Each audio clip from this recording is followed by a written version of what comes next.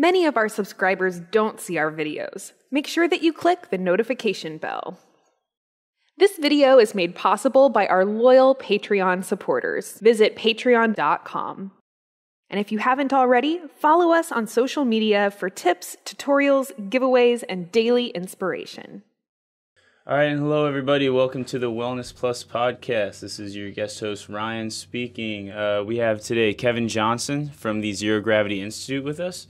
Uh, we're going to talk all about floating today, and I mean tons of other stuff that I'm super excited to get into. Cool. Uh, thank you for coming in, Kevin. Yeah, thanks, Ryan. I appreciate it. Yeah, it's great to meet you. It's awesome to have you in here. Nice to meet you um, too. We were kind of talking before. Obviously, we we got started how you got into the whole world of floating and mm-hmm. how you got started in that, and it's obviously become a, a huge part of your life. Right. Um, so, do you mind kind of going into that again? Because I thought it was it was pretty interesting. Yeah, yeah. Um, maybe. Uh, before I do that, maybe it would be helpful to describe for people what a flotation tank yeah, is. Yeah, for right? sure. Because I, I know that like for a lot of people they know about it, but also there's still a lot of people out there that don't. So, yeah, of course. Um, so uh, a flotation tank is a light-proof and soundproof enclosure, and it has um, there's various styles of float tanks, but they all basically do the same thing. So traditionally, a float tank was like a, a, a rectangular box, four feet wide, four feet high, eight feet long.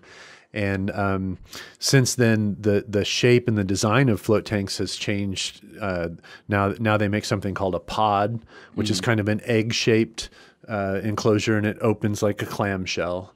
Mm-hmm. Um, they're they're cool and they're they're space age and they look really really yeah. Um, and then uh, there's also what we call a float room, which is the the style that we have at zero gravity. And so a float room is a larger enclosure. So our enclosures are six feet wide, eight feet long, and seven feet tall. Oh wow, so, so a lot bigger. So it's like this a small room. Yeah. And but they all basically work under the same. Um, concept. So in the bottom of this enclosure, there's there's going to be 10 to 12 inches of water, and and depending on the um, the number of gallons you have in there, will determine how much salt you put in there. And we, we use Epsom salt, right? Mm-hmm. So um, uh, it's uh, in our particular instance, there's uh, 350 gallons of water and there's 1,200 pounds of Epsom salt. Oh wow! So this is what gives it gives you the buoyancy right. in there, and um, and then we heat that solution to a very specific temperature, what we call skin receptor neutral. So it's 93.5 degrees. This is the temperature at which your skin doesn't register it as being hot or cold. Okay. It's just neutral. Right. And so uh, what you do is you you take a good shower, you step right from the shower into the flotation tank. You don't wear any clothes, no jewelry, nothing that will distract you or or call attention to the body. Mm-hmm. Um, and then you close the door behind you, lay down in the solution. As soon as you lay down, you're just going to float to the surface surface like a cork. You, there's no effort on your part. You're you're really floating in like the top two or three inches of mm-hmm. the solution. And after a few minutes, the lights and the music will fade down till you have complete silence, complete darkness, no temperature, and probably most importantly, no gravity. Mm, right. Right. And this is a in, you know, in in uh, my view of it, this this issue of uh, no gravity is probably the most powerful effect that the the tank is having, and we yeah. can get more into that. So so that's kind of a basic idea of what the um, the flotation tank is. Cool. Um, the way I found out about it was um, in the mid '80s, '86. Uh, I got out of school and out of college, and I went out to Los Angeles to work and I had recently seen the movie Altered States. That's a um, that was directed by Ken Russell. It was made in 1980, and it starred William Hurt as this Harvard scientist who um, he went to Mexico, visited the Huichol Indians, and he brought back psychedelic mushrooms. and then he went into a lab in, at Harvard and wanted to study these mushrooms. And one of the ways that he did it was by taking them and getting into a flotation tank. Oh. So um, this immediately captured my attention, sparked my imagination. I was a psychedelic kid, so um, I loved the movie. I thought it was, especially for its time, I just thought it was really cool and innovative. And but I didn't understand that the float tank that they were using in the movie was a real thing. I thought it was just a mechanism, just a prop for right. the, for the movie. And uh, so I didn't really think much about it. And a couple weeks after I arrived in LA, I was flipping through the LA Weekly, and I stumbled across this article that was talking about this flotation center that had opened. And right there was this picture of the flotation tank, exactly like the one they used in the movie. At that time, there was only one company making flotation tanks, a company called Samadhi. And, uh, and and so I recognized the tank immediately, and I was like, "Oh, that's from that movie." And so I called him, and I made an appointment to go in and float. And I I I was only 19 at the time, Mm-hmm. so the the feeling that I had when I came out of the tank was something that I had never experienced. I there was no context for it. I felt so calm and centered. I mean, think about what you're like when you're 19, right? Like right. You're just kind of you're all over the crazy, place, yeah. right? and all of a sudden I get out and I'm just like I'm so focused, I'm so centered, and just like this this sense of well being. Um, I know now why that happens, and we can get into that. But at the time, I just didn't really get it, and I. I um I went back to my apartment, changed clothes. I went down to the beach, and I just for hours I just walked up and down the beach, and I was just like just enjoying this feeling, and I couldn't really put my head around the idea that something as deceptively simple as a dark box full of warm salt water had elicited this kind of feeling, this experience that I was having. And so the next day I called and made another appointment to float. And uh, I went back a couple days later and I, I floated again and uh, same kind of results from it. And on that visit, I was lucky enough to meet one of the owners. And uh, I just I just went crazy on him. I just had so many questions. I wanted to know everything about floating right then, you know. And and uh, by the end of our conversation, he was like, "You you, should just work here. You should just." Take a job here. You can float as much as you want and get into it. And, so I did it. I, I, I took him up on it. And so, uh, yeah, I, I started floating a lot. Started floating basically every day. Yeah. the first couple of years, and and uh, it was uh, really now looking back on it, it was a pretty important time in my life. It really pointed me in a new direction with the way I was thinking, the way I was acting, the way I was speaking, everything. You know. Yeah, for sure. Do you know? Do you know like where floating was founded? Sure. Or how it was like Yeah. where it even came from initially? Yeah. So the um, the initial idea from the for the float tank was conceived of by a, a neuroscientist named John Lilly, and um, in 1954, Lilly was working at the National Institute of Mental Health. Okay. And the prevailing theory at the time was that if the if you could successfully block all sensory input, if the brain had nothing coming in, nothing to deal with, the the prevailing theory was that the, that you would just go into a light coma, that like the brain would just stop functioning, it would just drop into like just taking care of basic necessary body functions, and then that, that would be it. And uh, so Lilly set out to um, sort of test this theory. And so he started working with different designs and different ways that he could um, could successfully block out all all sensory input. And some of the early iter- iterations of it were hilarious. Like uh, laying face down with this big apparatus, the breathing apparatus on your face, and a a, um, a water skiing belt around your waist to hold you up. so you're laying face, down, down a- in water. in a, in a big, uh, basically like a watering, big round watering trough. like not at all sensory deprivation. And and then he made one that was a um, a vertical cylinder, and you wore a diver's helmet, like those big brass bell helmets, Oh my those old school Like with the the tube coming out with the, the, tube top. coming out the Yeah. top, right? Like it's practically a cartoon. Um, again, not really sensory deprivation, Right. but but he but he was inching toward it, you Right. know. And then, uh, um, along came this guy um, named Glenn Perry, and he he's kind of a lesser known figure in in the whole story, but he's actually the one that encouraged Lilly to um, move away from using sea salt and and using Epsom salt because the the um, magnesium sulfate is just a uh, provides better buoyancy and it, and it's muscle relaxer also yeah, I was gonna ask about that. right? So it so it helps like relax your muscles and get you into a calmer space. And um uh and so Glenn Perry put his input into the thing and and between the two of them they they came up with what's called a Samadhi tank which was the very first commercially produced flotation tank. And you know when they when they started doing research into it, they they discovered that it was something wholly different than what scientists theorized would happen. That actually, when you when you take away the sensory input, the brain opens up in this whole new way. It starts to function in this this this whole different way. Yeah. And um, you know, primarily what what we've learned over the years is that you're you're taking about 90% of the workload off of the brain and the central nervous system.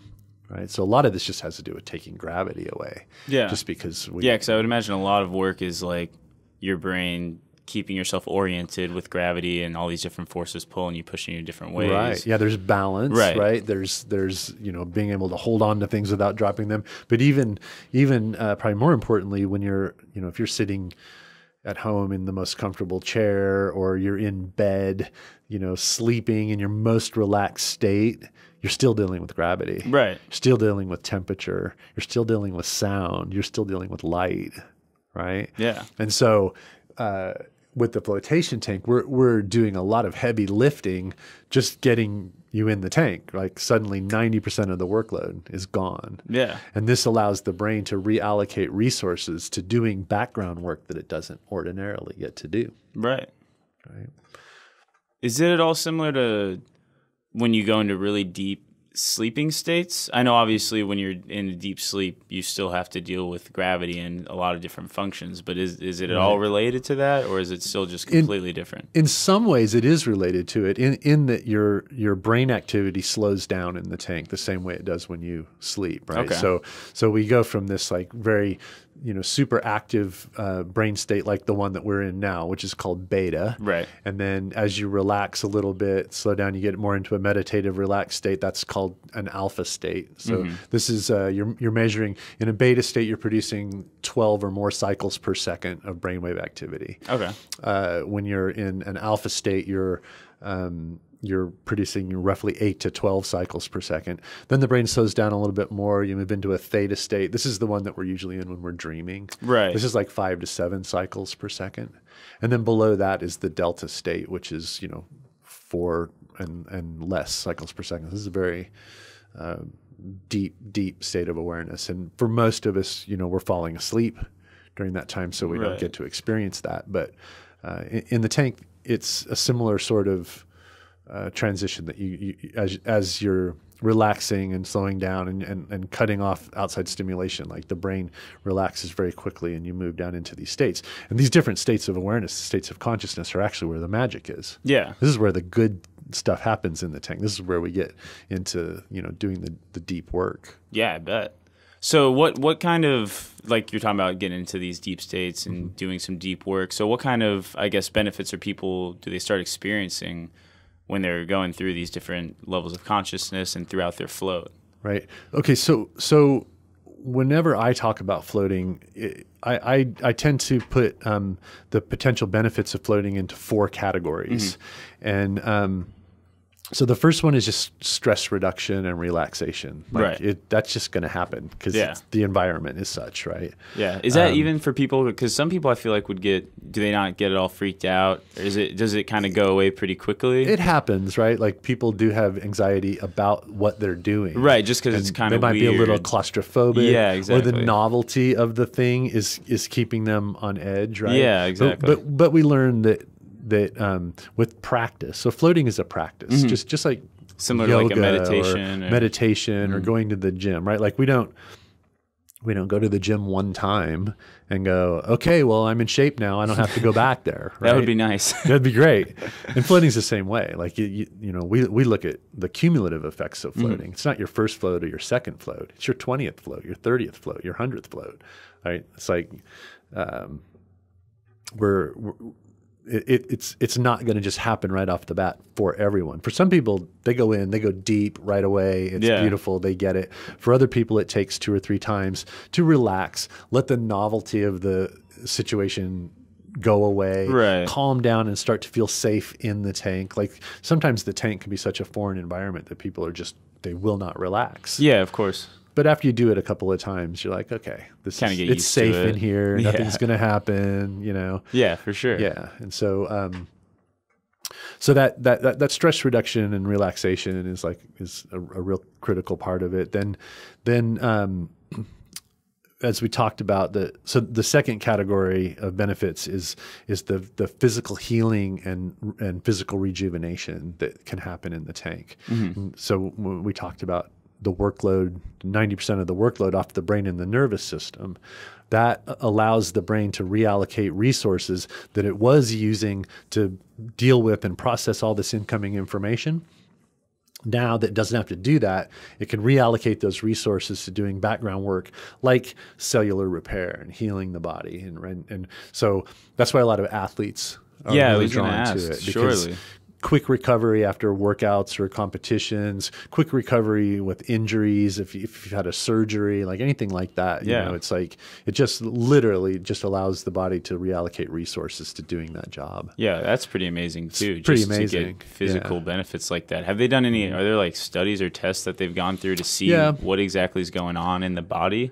Is it literally just is like circulation improving? Or, Well, yeah, certainly circulation's improving. There is a there's there is a um, a vasodilation effect that happens when you take gravity off the body. Right. The um, the vascular system expands, and so you get better blood flow, uh, more oxygen through through the through the blood and things like that. So um, we know that that's happening, and uh, also just the uh, there's a there's an endochromatic reaction. So like your endorphin levels go up, you, you start producing extra neurotransmitters, big ones like dopamine and serotonin and melatonin. And so like this whole like wellness of the uh, of the body and the mind, it's just that's going to aid Yeah, yeah. healing and recovery. Like For we, sure. we just we know that to be true. So it's it's working, you know, on that level. That's yeah, I- and also because I know kind of not necessarily super related, but people talk about when they fast, you go into what autophagy, and it's because since you're not you're not having to digest any food anymore, your body's able to use some of that extra energy that normally was going into the whole metabolic process to go through and clean the cellular like uh, damage and go through and do a lot of repairing. Right. So I would imagine it, it's got to be kind of a similar process when you take all of that, like you said, all that 90% of that different stress and work Yeah. that your body's going through. I'm I'm not familiar with that process, but that um, resonates with me just because I know that how the body's working in the tank. That, Mm-hmm. that it sounds very logical that it would be doing the same thing. yeah, yeah, that's pretty interesting then. Yeah. That's amazing. The third category that we talk about has to do more with cognitive function and creativity, like learning new skills and things like that. Oh, really? When you when you um, take away the the busy work for the brain, then it's looking for new information to process. Like the brain wants to be busy. Of course. right? So we we there's been studies, that, uh, especially around creativity. So we see a lot of artists using a lot of a lot of you know songwriters and, Oh, yeah. and uh, novelists and we we dancers and Oh. um, you know like with dancers and athletes like the whole like visualizing their yeah, routine that's what I was going to say. It must creating the neural doing- pathways yeah, of through visualization like that that's really all those fine really motor skills can still be super, super well tuned just through visualization. Right. Yeah. So the tank is a great place to do that because you're just you've taken away all the distractions. Yeah. You know. Yeah, and you can just totally work through, like if you're a dancer, go through your whole routine. Almost your brain can be working through that without Right. anything else to worry about. Right. Right. And so those first three categories of benefit, like my personal philosophy is that those are really excellent side effects of the tank, not necessarily the primary reason that we would recommend using the tank. Right. Um, the the fourth category of benefit and the one that we're most focused on um, it has to do with the um, the access to really deep states of um, altered consciousness right? Altered states of consciousness. And um, through these different states of awareness the kind of deep transformative work that you can do on yourself right? And so th- this this is where we tend to put our focus because we recognize that it's with this uh, these heightened states of awareness these altered states of consciousness and the work that you can do there it sort of naturally overflows into all these other parts of your life. Right. right? And so you get all these other benefits just from just from focusing and, and strategically using these different states of consciousness. Wow. So, what kind of? I guess obviously it's probably difficult for someone that's never floated before to try and understand what that must be like. Mm-hmm. Um, how how do you best describe it? I guess if, for people that are maybe interested in trying. Yeah. 'Cause So, like you said, it's a practice, so it must take a lot of right. sessions to kind of get in and kind of. Is it mostly just you working with yourself, or is it helpful to kind of Well, so- relate with other people's experiences? so this, this is how I look at it. So I look at floating as it, it's like it's a hygienic process for the psychology. Okay, so um, we we know how much stimulation there is in our environment, right? We're like we have smartphones and big screen televisions and cable and yeah, it just goes on and on and on and traffic and music and lights and sound and I mean it it I read this article not long ago that said that at any given moment there's 400 million bits of information available to the brain. and and I was like, no way. I mean, that's Yeah. that's a lot, That's right? insane. But but just e- even in this super controlled environment that we're in right now, Yeah. just take a snapshot of of how much information there is available. Right. Right. So the color of the wall behind me, the color of my shirt, the color of the desk, this microphone in front of me, Yeah. the lighting coming in from the side, the air conditioning system, so that you got air movement, you got color, you've got light, you've got all these things. Like even just in this one space that we're in, Yeah. there's a lot of information for the brain.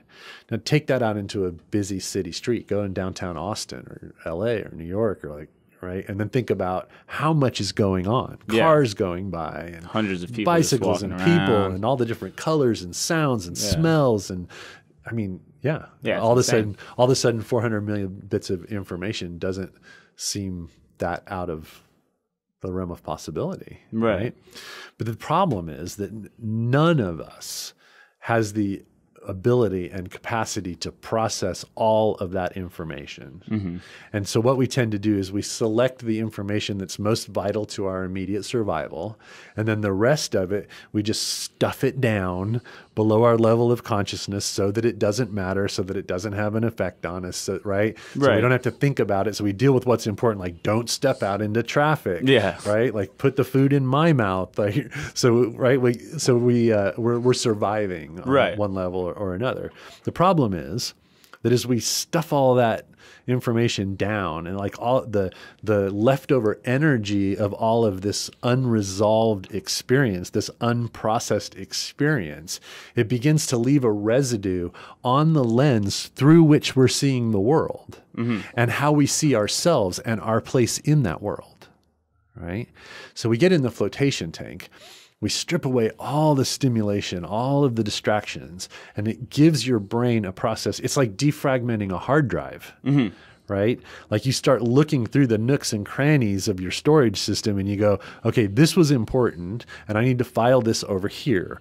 This this was completely not important. We're just going to throw that away and never deal with it again. Yeah, don't need and that. throughout this process, we're clearing the lens a little at a time, one little bit of residue away at a time. Boom, boom, boom. Suddenly, we start to see the world in a, in a different way, in a much clearer way. Yeah. So now we're making better decisions. We're having better personal interactions with people because we're seeing it all more clearly. Mm-hmm. We're not operating through this dirty windshield that's, that's have, has us guessing at what the right decisions and what the right actions are. Yeah, that makes sense. Right. So in in this in this sense, and with the with this philosophy in mind, I can see where eventually floating will be considered a, a health breakthrough, like a public health breakthrough, and it's may, maybe not as poignant as like clean water or you know antibiotics or antisepsis or something like that, but but on a on a um, a personal health level. I think it's a real breakthrough. I just don't think the world has really recognized it yet for what it for what it really is. Yeah, yeah, for sure, and especially um, kind of with the way technology and the whole world is just getting I, like crazier. Yeah. Like because you used to at least if you used to you know even hundred years ago, um, you had to deal with all those factors every day Mm-hmm. in cities even or maybe a lot smaller scale but there's still a lot going on Yeah. but then if you were like you know you go home and you could at least you couldn't float necessarily but you could r- relax a little bit more you didn't have a cell phone Right. and email and social media and TV and Right. Netflix and video games and like all this like more light and stimulation that's like constantly bombarding our brains that we like are almost addicted to a lot of us Right.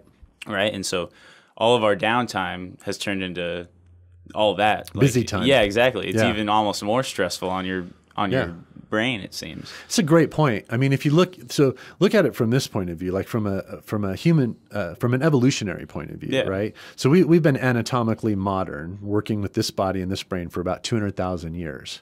For the vast majority of that time, we had a lot of downtime. We had a lot of relaxed time. There were tiny moments of fight or flight right?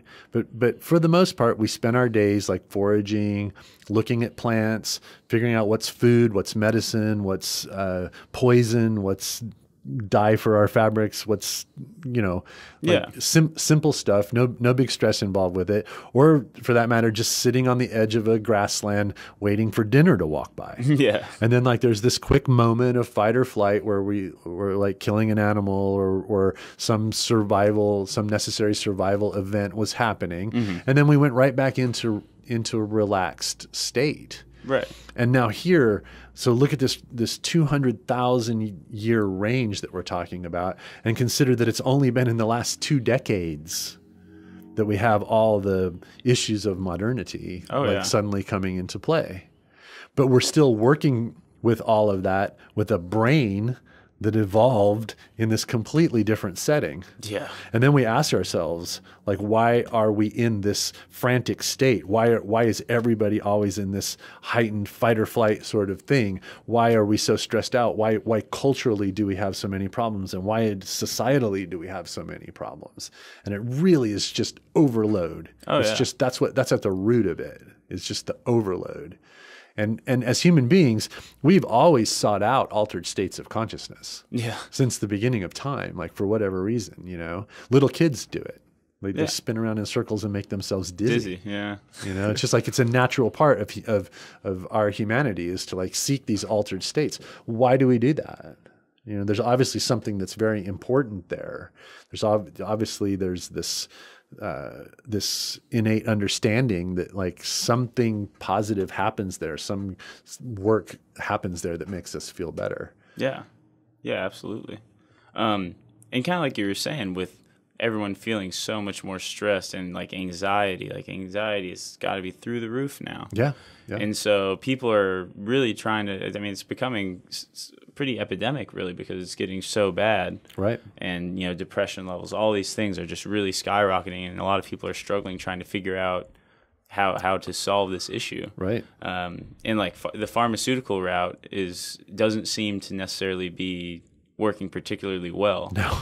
right? No. Um, Causes as many problems as it claims to solve. Yeah, it just doesn't seem to be a good long term solution for at least most people. Right. Um, so sounds like like we need something that is is a more of a legitimate solution that that is going to provide real benefits. Right. Um, and so it sounds like obviously floating could be a, a huge, huge part of that. Yeah, yeah. I think the uh, the larger sort of view of what you're saying is that, like, like human beings have a a tendency to see themselves as disconnected from their source, from from their we lack a sense of belonging in uh, in a lot of ways. Like not not only like between people and in communities and and in in community structure, but just also like a, a connection to the divine, a connection to spirit, a connection to source, connection of God. However you want to talk about that Yeah. right? And and it, a lot of times it's just because we're so overwhelmed. There's a lot of people controlling our thinking, right? Like the, you look at social media and and the applications that we use. Like these things are highly manipulative. There's just literally a few hundred or maybe a thousand programmers in Silicon Valley who are right now controlling the way billions of people think, the way billions of people perceive the world, and the way billions of people act to one another. Yeah. And this promise of you know this interconnectedness through social media and through the internet and everything it it, it said it was going to bring us all together. And really what it's done is to isolate us. Yeah. we have less connection we have less personal connection we have less one-on-one time with each other. Yeah, 100%. and it's all being filled in. The vacuum is like sucking us in. And and and and this this this promise is, has not turned out to be true, and in fact, this this infrastructure as created has become very unreliable.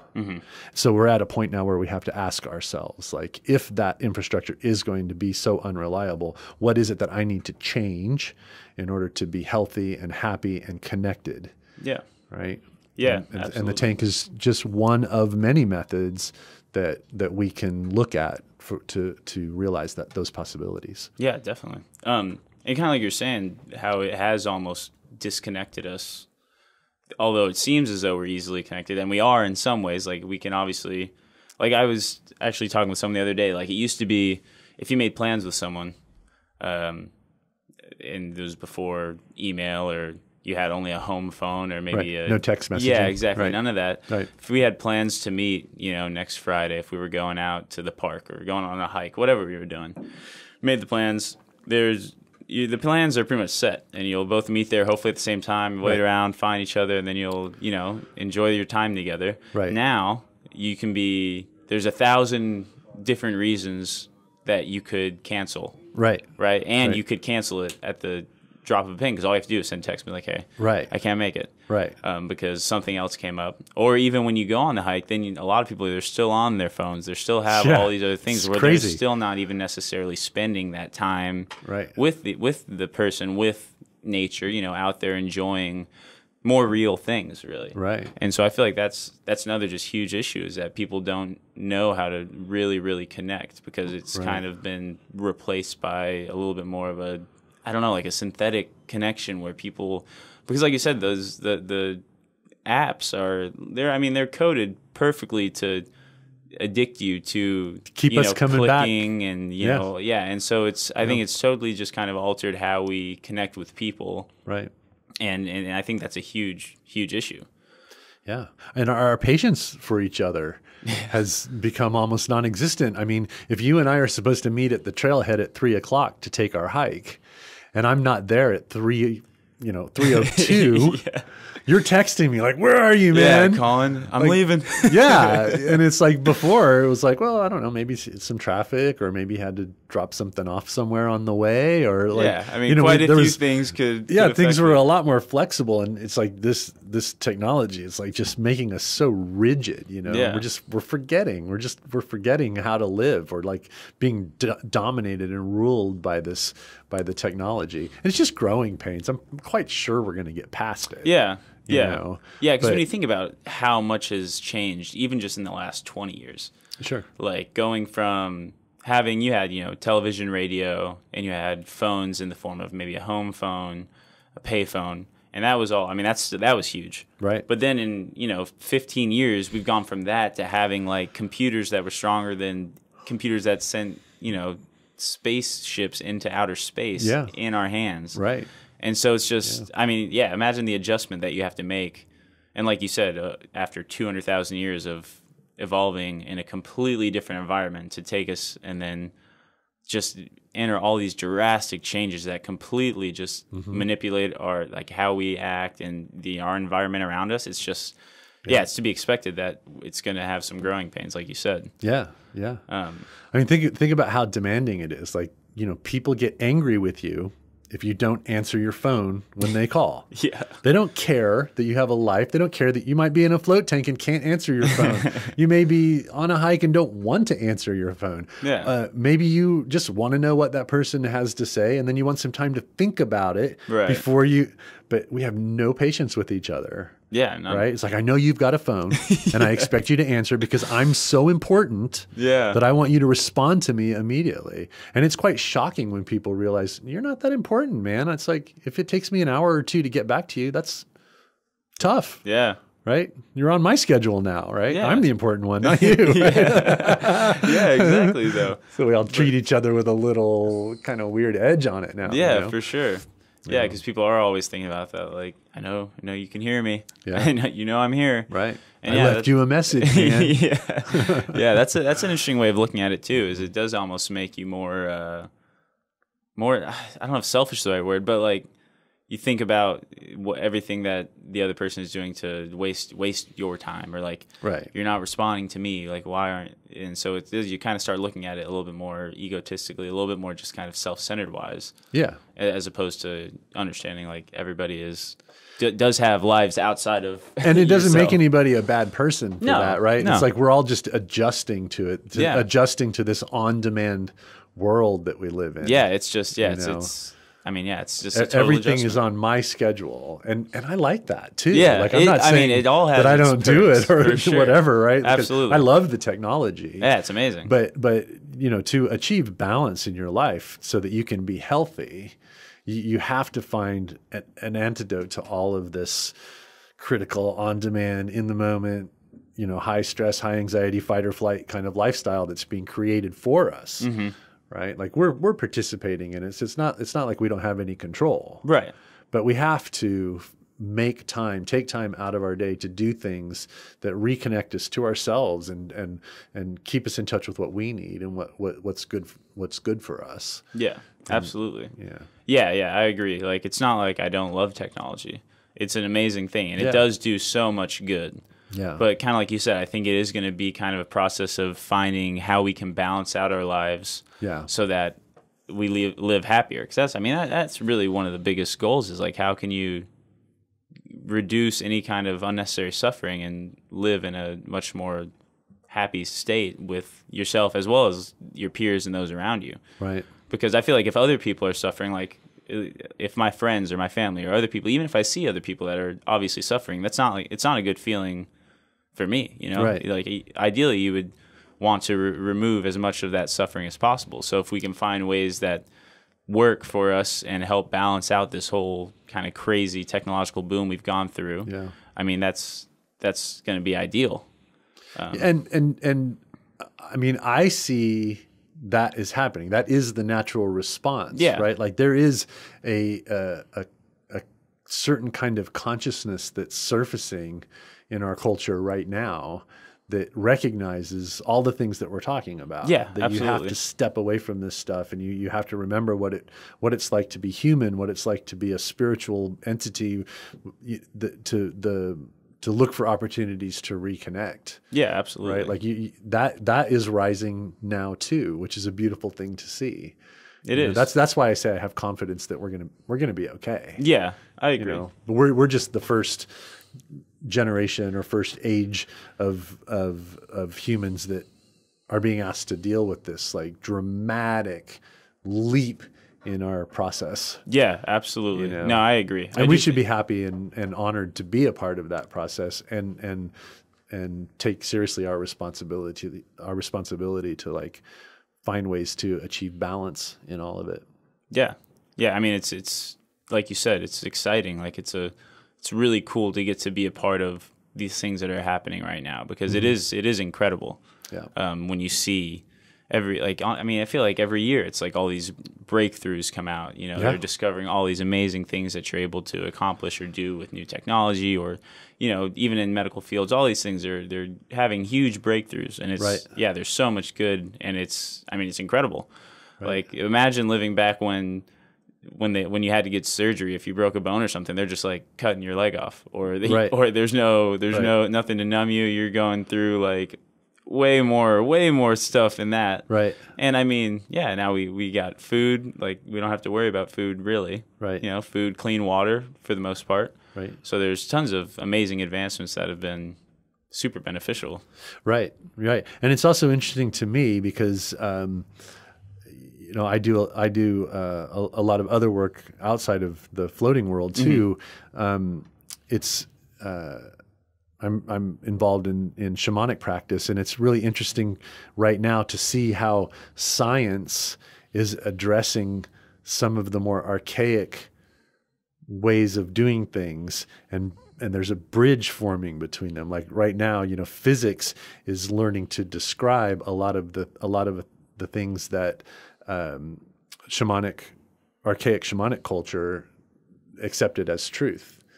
That's right? pretty interesting. Yeah. Yeah. And so it's like it's not that it's not that technology is always moving us uh, away from those more archaic systems. It's it's actually now kind of circling back around and picking it up and saying, "Oh, well, the reason that that shamanic technique worked is because of you know whatever that a change in the the in vibration and the frequency of of of matter or this person's experience or whatever. Right? Yeah, it's yeah. like um, there, there's all these interesting bridges being formed, and uh, I, I- I just find that fascinating too. It's it's it it um, sort of reveals that you know we look at at time is like this linear thing and uh, everything in our, our lives is based on this idea that like we're here now and then we're moving only into the future. But but really physics tells us that like time is all around us. It's not just a linear thing that past present and future exist all at the same time. Yeah. and and um, and that opens up a whole lot of new possibilities in in my view right like i think when we're doing things like meditation flotation tanks um, trance work breath work uh, plant medicines and psychedelics like these are all ways that we use prayer fasting meditation these these are all ways that we tap into the field of information that's available to Yeah. us out there. And this brings new insights and new ideas and new philosophies. It brings those things um, in, in, into the present and and um, brings clarity to these ideas. You know. Yeah, So I think we're in a super super interesting time. Oh, for sure. And yeah, like you said, it's cool that all like so many of these practices are ancient. Like you Right. said, there's things that people were doing like thousands of years ago. Right. And now we're able to use technology and science to basically just understand why it is like Right. why it is that they do actually work or what it is that they're doing to us. Mm-hmm. And like why we experience the different side effects and benefits of things. Yeah. And which is pretty interesting. Um, Yeah, when I look at when I look uh, throughout history at different like spiritual practice and practices and, and meditative practices and religious practices, you know, the idea of going into darkness, going into solitude, has always been there. Like, Yeah, so 100%. so many practices. It was like go into a dark cave and spend four days there fasting and meditating and praying and whatever, you know. And it's like the flotation tank I just see as like an extension of that. Mm-hmm. Like it's a it's a it's a new technology, a newish technology for for doing the same time honored practice Yeah, of for like sure. going into darkness, into solitude, eliminating distractions, detaching from the outside world in order to receive insight, to receive information from the field, to you know um, process experiences. It's amazing. Yeah, right. yeah, but yeah, it yeah. is in in general terms a very new technology for doing that that that same that old sort practice. of practice. Yeah, it used to just be a cave. Yeah. you know, now now you have this sweet. I guess yours is you said a room Mm-hmm. or a pod of sorts that you're able to go into, and it almost it just takes that experience, and you're able to kind of push it one step further by really fully removing Right. everything. Right. Which is yeah, I mean that's incredible. And then kind of like I mean the same thing with religious practices, with meditation, all Mm-hmm. those. Yeah, same thing. People have been doing that for thousands of years. Right. And I feel like it almost, especially with um, different kinds of like fasting and things like that, it almost like dipped. For, it felt like it maybe dipped for a second, maybe 15, 20 years ago. Um, at least I don't know. For me, like looking at it, it seemed like it wasn't super popular. Um, or maybe it just has got. I, I think it's gotten more popular now, but that Sure. could just be maybe because I've kind of learned more and gotten more interested in my in it for myself, and so I've started surrounding myself with people that are interested in. So I just hear about it more now. Mm-hmm. But it just seems like for the public, a lot of these things, like even like something as simple as fasting, where it used to be like I remember growing up, you had your food your food pyramid Right. and you know you said you had to eat you know this many servings of grains Right. this many like all these things and now it seems like that has been totally kind of thrown out Right. and you know it was always you know breakfast the most important meal of the day you have to eat three meals a day you know all this and now it's there's a lot of research and people coming out talking about how important it is i mean fasting has so many different benefits Right. and so it's like interesting to see these, like you said, older practices that are kind of coming back and people are realizing like yeah these are actually really really good for you Yeah. which is it's cool to see I think it's because information travels faster these days because we have podcasts. Mm-hmm. Yeah, of course. We have all this technology at our disposal, the, the, the internet and just communication devices in general. So so when new things come up, when people discover new new things, it's like it travels really quickly, Mm-hmm. which is really cool and really beautiful. Um, I think on a larger scale, kind of what you're talking about though too is that um, you know we looked at uh, if you look over the time span of human history like we we had very much uh, our religious and spiritual practices were very earth centric and it wasn't until i mean really until about 12,000 years ago it was you know animism and shamanism. That that's that was it. That's how the earliest forms of religion and spirituality were expressed. And then about 12,000 years ago, we start to see things like carvings and totems and representations of deities and things like that.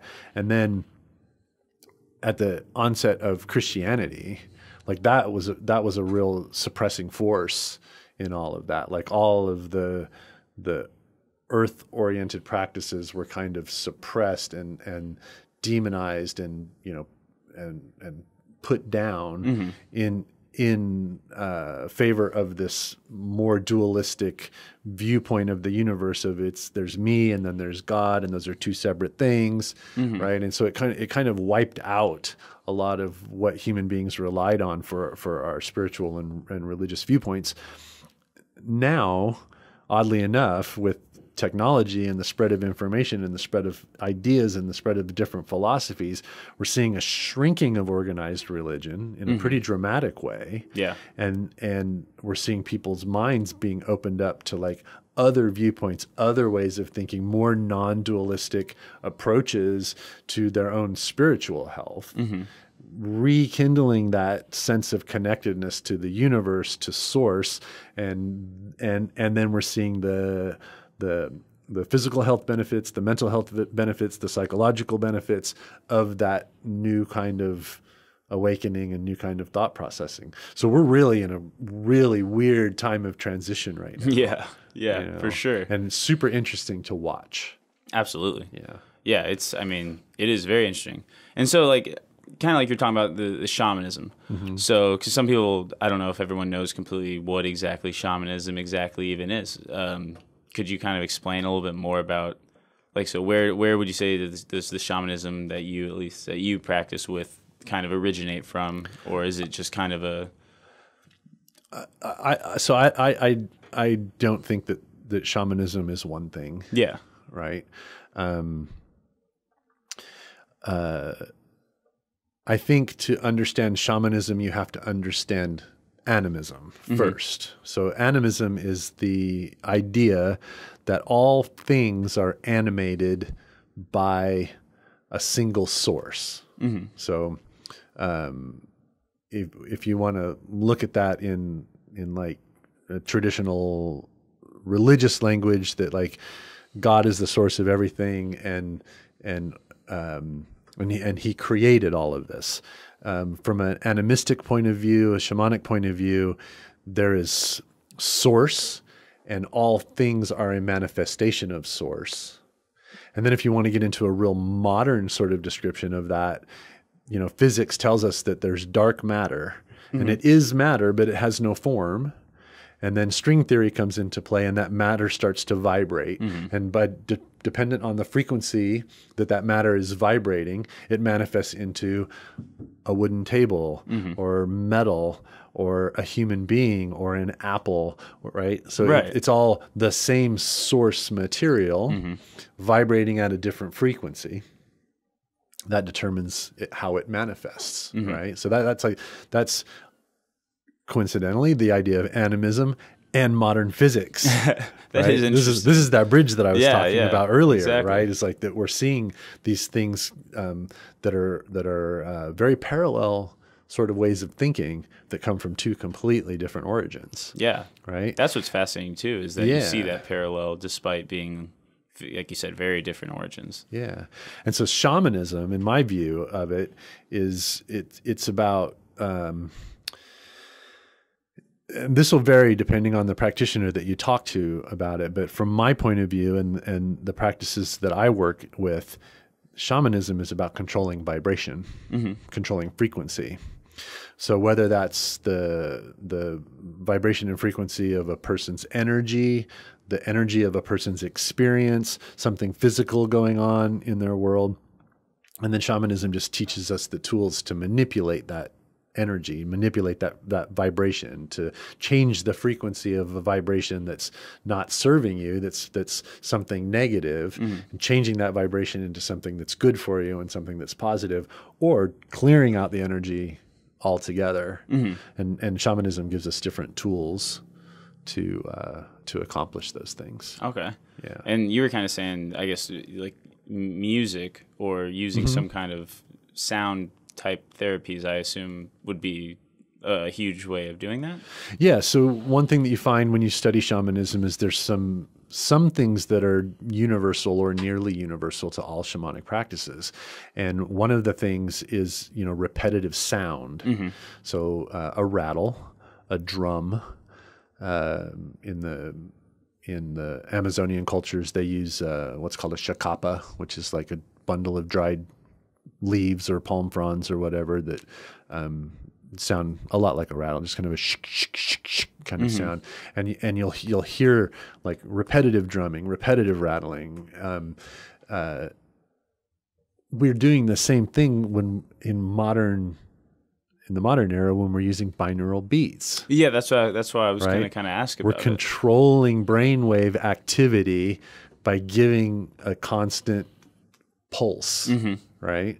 And so here, here again is the archaic world and the modern world are actually expressing the same kind of thing, you know? Yeah. And then in, and then and then it gets into like you know chanting and, and how the voice is used or a gong or chimes, right? Like all of these things ultimately they come down to vibration and frequency, and and uh, and so I think those are the things that you can say are kind of universal or nearly universal about shamanism. But then once you get into r- ritual and ceremony and dogma, then th- that that's where you're going to have things Tons that like start to pull away from each other, and Yeah. maybe they're not as easy to lump up Right. together when when you when you uh, start talking about those details. Yeah, yeah, cool. Well, yeah, I mean that's that's what I was yeah kind of curious about. It's interesting Yeah. that that's like the core belief though. That's that's pretty interesting. Yeah, and That- like that, that's my view of it. Right. Like I, I, if you talk to like ten shamanic practitioners, Some you're people gonna are gonna be different. probably get you know at least nine different answers Yeah, to of that course, question. of you know? course. one or two people be, might might agree on it. That that just really comes from my personal experience and the work that I've done in my life. Like Yeah. that's that's if I have to like simplify it, Mm-hmm. that, that's what I see. It's very it's it's very simple. It's controlling vibration and, and frequency. yeah, I mean that's cool. And then kind of like you're talking about with the binaural beats because that's Uh-huh. something that's kind of gotten pretty popular now too. Mm-hmm. Um, do you have you used binaural beats at all, or do you? Oh, for for years. Years, yeah. Yeah, yeah. It's very interesting. Yeah, because they do they somehow do they help your brain kind of achieve different wavelengths like you were talking about earlier like how does it how do, is it just Yeah. the same thing with some when you listen to a binaural beat, what you hear is an oscillation, Right. And you you hear that the oscillation is happening between two frequencies, Mm-hmm. right? And so the difference between those frequencies is going to determine the brain wave that your uh, the level of activity that your brain settles into okay right? So if you're trying to achieve a theta state, which is um, five to seven cycles per second, then and you play two tones that um, uh, you know, let's say for instance, one, one of one of your tones is uh, 220 hertz. And, and the other tone that you're playing next to it is uh, 225 hertz, right? So what you're hearing as dissonance, like you're hearing two notes, two tones that don't match each other, and that little wobble that you hear between them, Right, right, right. That's that's the dissonance between the two notes, between their their frequencies. The the the space between them, if they're five hertz apart from each other, then then the brain is going to hear that oscillation at five cycles per second. Right. That's going to move your brain into a theta state. Oh, okay, okay. Right. So that's, like very the- that's a general concept concept behind binaural beats. Again, that's something that's been used over time. Like sound healers know that, right? The the people who who use crystal bowls and their voice to do sound healing, Mm-hmm. they understand the the the mathematics at play there and the the sound theory that's at play there. Like that's how they're making it happen. That's how they're moving you into an altered state of consciousness. The same thing when a shaman chants to you, a shaman sings an icaro to you. Like that's what they're doing. Right? They're controlling frequency. They're controlling brainwave activity. wow. See, yeah, that's pretty crazy. I mean, that's like super cool, Yeah. especially just to to kind of find out what exactly is kind of almost the explanation behind it. And and and binaural beats are not new. Right. right? Like this this technology. Um, I worked uh, back in the in the mid '80s. I, I did a um, a research project with the Monroe Institute. Do, you- do you know? Uh. I've- yeah, I've heard of the out Monroe of body uh, research group. Uh, I think. I mean, it sounds very familiar for sure. yeah. Uh, so Mon, uh, Dr. Monroe uh, invented a um, a program called the Gateway, and it was um, by using sound and tones and frequencies, controlling brainwaves, and put you into a brain state that was that was uh, very conducive to allowing you to go into an out of body experience. Oh wow. And so he was doing the very the very same thing. You know, he had what was called a Hemi-Sync, and and so hemisphere synchronization, right? Mm-hmm. Like using tones to synchronize the left and right hemispheres of the brain, because he through his research understood that most out of body experiences happen when the left and right hemisphere are synchronized. Oh wow. So he developed a synthesizer that would first of all synchronize and get the left and right hemispheres working at the same rate and then slow the brain down and put you into uh, different states of awareness that were more conducive to eliciting this out of body experience. Oh, wow. And this is something that he started working on like 40 years ago. Yeah.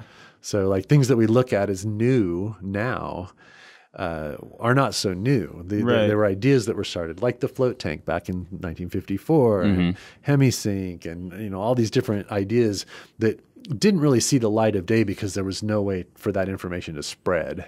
Right. Yeah. And we see it as new now because we've just entered the the, the information age Yeah. where it's like that, that that kind of stuff just goes around, you know, gets viral, and it, the whole world knows about it by tomorrow afternoon. yeah. Yeah. Well, that's. I mean, that's we've been playing with it for a long time. That's incredible. Yeah. Is so they they're still kind of utilizing that kind of practice now. Oh yeah, yeah. Wow. The Monroe Institute's still active. Active. In fact, there's a there's a group here in uh, in Austin that that does a lot of out of body Oh, wow. uh, experience research, and it's kind of it's kind of like a uh, it's kind of like a meetup kind of group. Yeah. You know, it's just people that are doing it on their own. They're doing dream work. They're doing out of body work, and then they get together and compare notes and talk about it and stuff. That's cool, though. We see a lot of them at the Float Center because Yeah, I'm sure. the float tank is a great place to to do that kind of experimentation. Yeah, absolutely. Is um so like at, at your at the float center, does it do you guys almost kind of have like a community?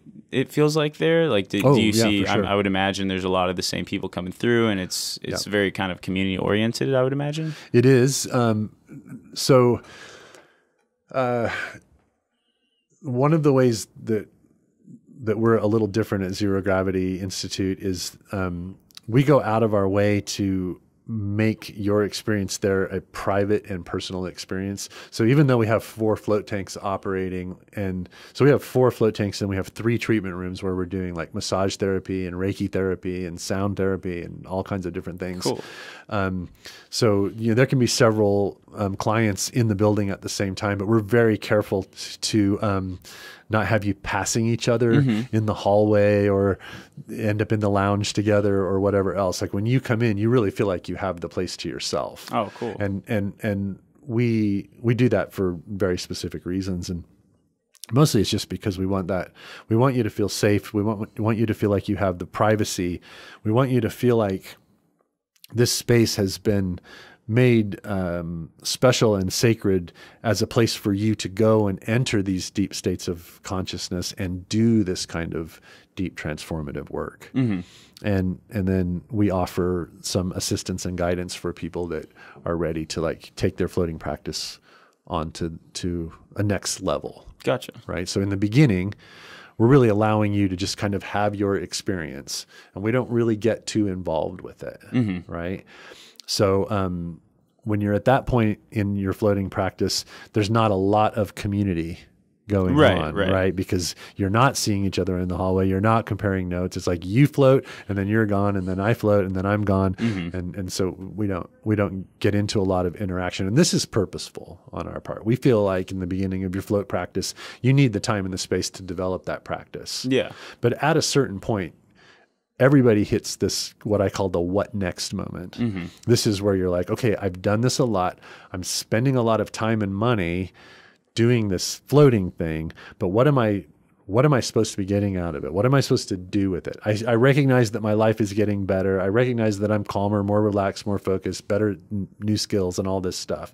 But I'm having this sense, this awareness that like there's a deeper level of work to be done here. There's something else to accomplish here, but I don't know what it is. Nobody's ever told me what it is, right? Right. And this is where we step in, and that and we start, you know, offering some some more guidance. So I've Yeah. developed a program called Transformational Flotation, where we give people a, a, a very um, concrete set of of things to work toward and ways to um, quantify your progress. Oh, cool. Right. That's very cool then that you're able to kind of help guide people through that Yeah. process once you've given them obviously like you said the time to Right. go work through the things themselves and get to that point.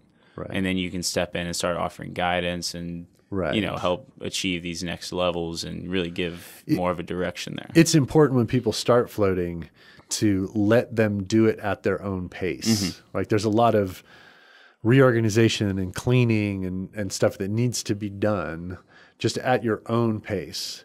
And and what what's interesting is that um, when you first start to float, uh, you you you you may come in there for one of many reasons. So those reasons happen on a spectrum. Like it could be chronic pain, it could be anxiety, uh, it could be just curiosity, it could be a desire to explore consciousness, states of awareness.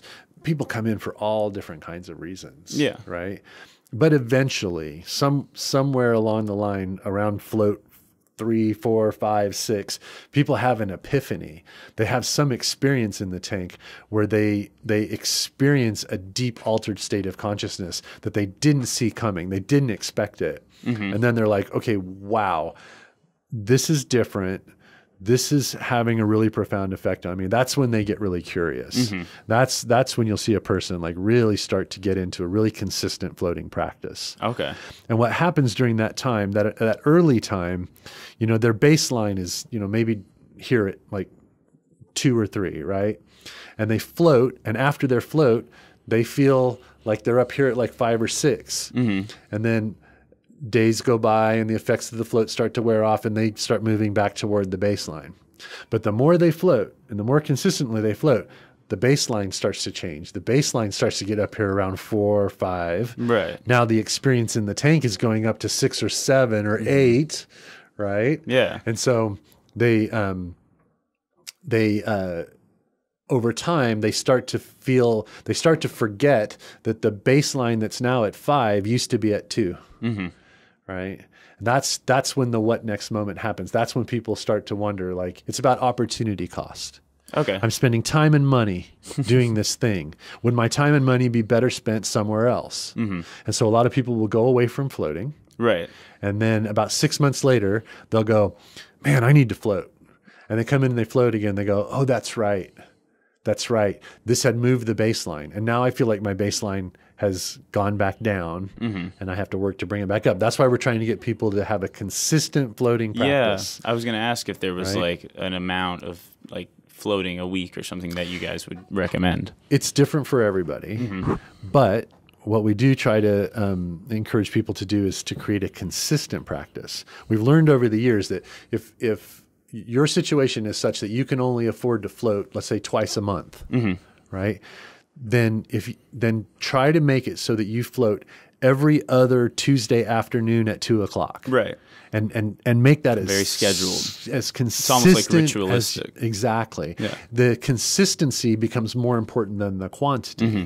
because what we've learned is that there's you your brain understands what it's doing and what it's about to do, and it sort of creates this Pavlovian effect where on Tuesday morning you wake up and you're like, oh, today's the day I float. Mm-hmm. I'm going to float today at two o'clock. Your your brain gets to work right away. Right. Your stress hormones go down. Your endorphin levels go up. You start producing neurotransmitters, right? Like all of the stuff that you get as an effect of the tank starts happening before you ever get in the tank because you're practiced at it and your and your brain is trained to have this response Right. right? So we encourage people to, to have a consistent floating practice, whatever works for you. Mm-hmm. We don't want to introduce stress into your life by telling you you have to float twice a week. well, that takes time and money to do that. Yeah, of course. You know, and and what we introducing stress into your floating practice is exactly the opposite thing that we want to do. Yeah. So figure out what's good for you, what works for you, and then be as consistent with that as you can be. Yeah. And you will notice the difference. Yeah. That's, I mean, that's cool. And that totally makes sense. The consistency's Yeah. got to definitely be crucial. Right. And it's cool that you guys are able to work with, work with your clients and basically figure out a schedule or a way that works best for them. It's like a very personalized kind Right. of thing. Kind of like you said, it's like all about a very personalized experience. And and if you practice on a consistent basis, there you you, you will take care of all the the kind of foundational work that needs to be done. Mm-hmm. And once that work is more or less solid, then then you will experience that moment where you it's the what next moment like what what happens now what should i be doing with this Yeah. and that's when we can step in and start to apply the concepts behind the transformational flotation program to actually show you how to work in the tank, when to work on certain issues in the tank, and then how to quantify the progress that you're making once you get out of the tank. Yeah. Right. And then this, so this becomes like a level two sort of practice, like ta- taking your initial floating practice and taking it up to Yeah. another level. And that's what's cool too is that you guys are able to quantify it because that's something that's I think is helpful for a lot of people too is to be able to like Yeah. quantify it, see that progress, kind of understand where they're at, and you know you're working towards these next steps. And so that's that's kind of a really cool thing that you guys help help people do. Right. And it sounds like it's kind of unique to what you guys do at Zero Gravity. Yeah, yeah, exactly. Which yeah, like a lot of float centers aren't aren't that interested in doing things the way that we do them, right? And that that's that's creating a set of problems within the industry that just have to be dealt with. Mm-hmm. But um, we've held really firm to our philosophy about floating, about what it is, about why you should be doing it, and and and about the potential that it has Yeah. right? Because this is an amazing technology and used in the proper way, people can really make incredible progress with it. You know, but but there is um, a certain amount of guidance that's required from the flotation centers, and some people are able to offer that, and, and some people are not. But that that's also one of the goals of the transformational flotation program is to um, not only working with individual floating clients, but also working within the floating industry and working with other float centers Oh, cool. to train them in this way of thinking and and and in this way of um, consulting and and helping their customers, their clients with their floating practice. Mm-hmm. Like it, it's it's uh, the the program has been designed as much to help the individual floating client as it is to help the industry The as industry a whole. floating. That's Because awesome. Because we're at a point where that conversation needs to start happening. too. Yeah. Yeah. Because you want as many of these places doing kind of doing it the right way. Yeah. I guess would be the best way of describing it. Yeah, and, and and I don't I don't I don't think it's the only way. Like Mm-hmm. as I've as I've talked to different people within the floating industry about transformational flotation as a program, what I'm what I'm making sure that they understand is like this is one conversation